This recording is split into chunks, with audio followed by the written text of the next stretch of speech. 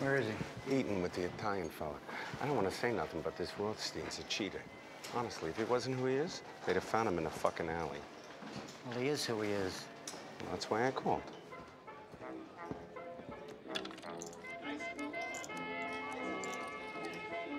You fellas ever hear of sleep? Who can sleep with all this excitement? Heard you had a lucky streak. Luck had nothing to do with it. I'm a skilled player, is what he means. That's what I hear. Hmm. So, what's all this about cutting me off? It's not that.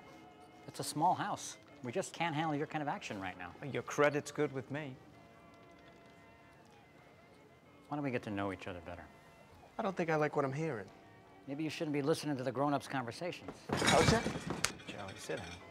Charlie, Charlie.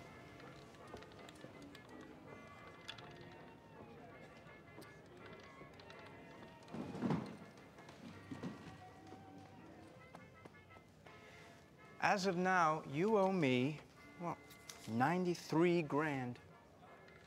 Less 60 for tonight's load knocks it to 33. So you could keep playing then. I don't gamble where I don't feel welcome. Sorry you feel that way. Cash him out.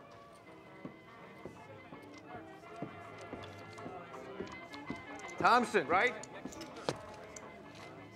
Heard you're familiar with my wife. Pardon? My wife. Margaret, you drove her home?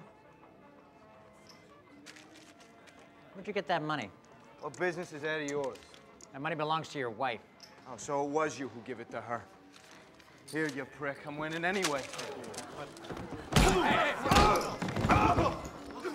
Toss him the fuck out.